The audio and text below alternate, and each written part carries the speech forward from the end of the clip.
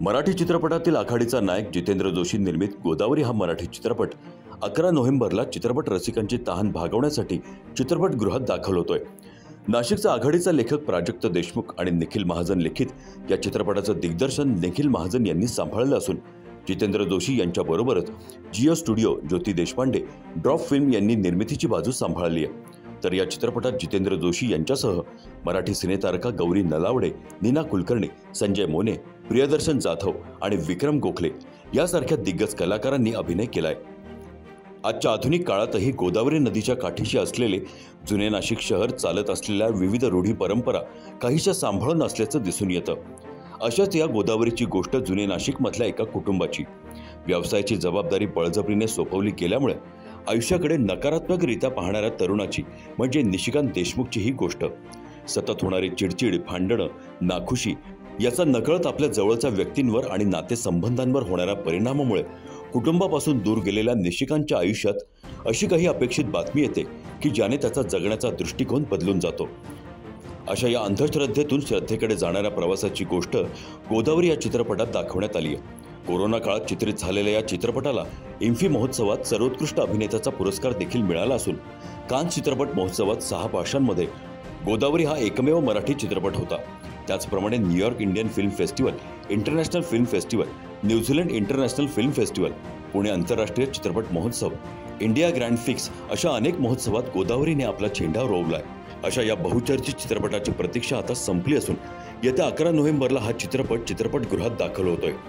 याविषयीची माहिती कलाकार तसंच दिग्दर्शक निखिल महाजन यांनी नाशिक येथे झालेल्या पत्रकार परिषदेत दिली आहे. जसं जितू म्हणाला तसं आम्ही नाशिकला आलो. प्राजक्तनी सांगितल्याप्रमाणे नाशिक बघायला सुरुवात केली.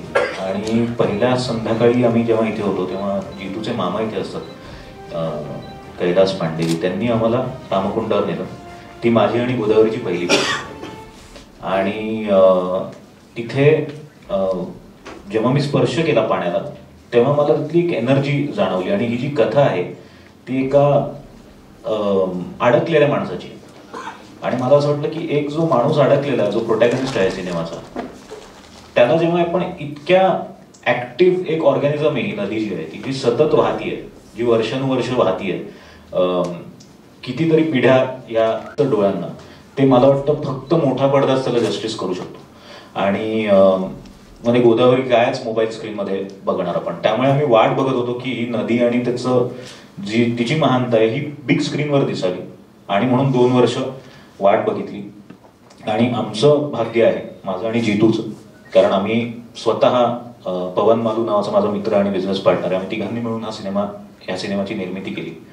पण ती करत असताना हा विचार नव्हता की जिओ स्टुडिओज आणि निखिल साने सरांसारखा एक खंबीरपणे ह्या सिनेमाचं काय म्हणणं आहे जाणून घेऊन त्याला पोचवणारी व्यक्ती आम्हाला मिळेल. कारण सिनेमा बनवणं हा एक भाग आहे पण तो पोहोचवणं हा जास्त अवघड आणि जास्त महत्त्वाचा हे ठिकाण जितू घडून आलं तो म्हणे मला माहिती नाही का मग नाशिकला करायचं. तो म्हणे म्हटलं मग आता माझ्याकडून काय तुम्हाला अपेक्षा आहे का? म्हणे नाही आम्हाला एक तू तुझ्या नजरेतून नाशिक दाखव पुढचं माहीत नाही. तेव्हा मी लिहावं असंही काही त्यांचं म्हणणं नव्हतं.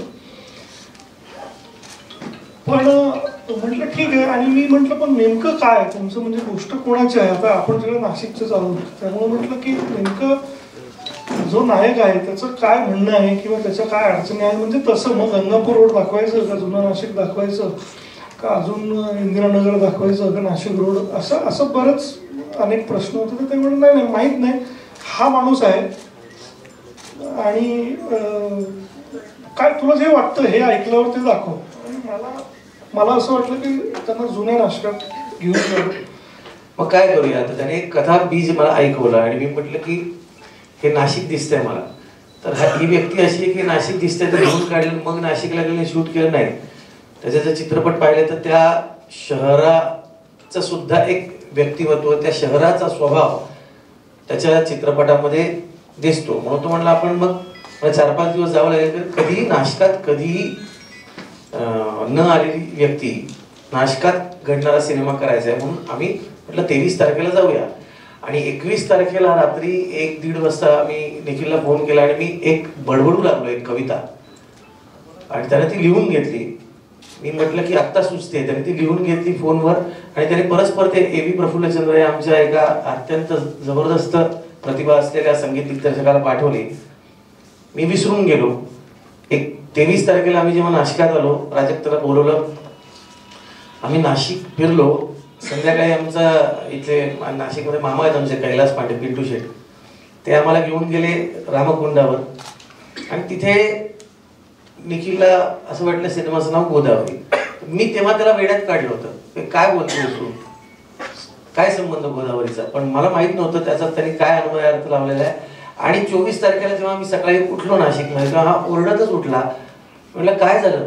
तो म्हणलं हे ऐक. असं म्हणून त्याने मी एकवीस तारखेला काहीही माहीत नसताना जी कविता केली होती त्या कवितेचं गीत झालं होतं. आणि ते गीत म्हणजे तुझ्या प्रवाहाचं मी झालो पाणी नाद दिला तुझं तुझीच झालो गाणी. स्पर्श तुझा गार निळा निळा शार तुझी आठवण मला जुनी फार. आता त्यात गोदे खळ खळ तुझी वाहणारी आईल ती सुद्धा पहिलं पाहणारी. गोदे निघाली तू पुढल्या या गावा पहिला तिरी सुद्धा तुझा नादा यावा. हे ते बदलून एमिनी खळखळ खळखळ गोदा निघाली तू असं मोडतोड करून ते गाणं घेतलं. ते गाणं आधी जन्माला आलं. ते गाणं घेऊन मग मी आणि निखिल आणि प्राजक्ता आम्ही निघालो. आणि मग त्यातून ते सुरू ब्युरो रिपोर्ट जागर जनस्थान नाशिक.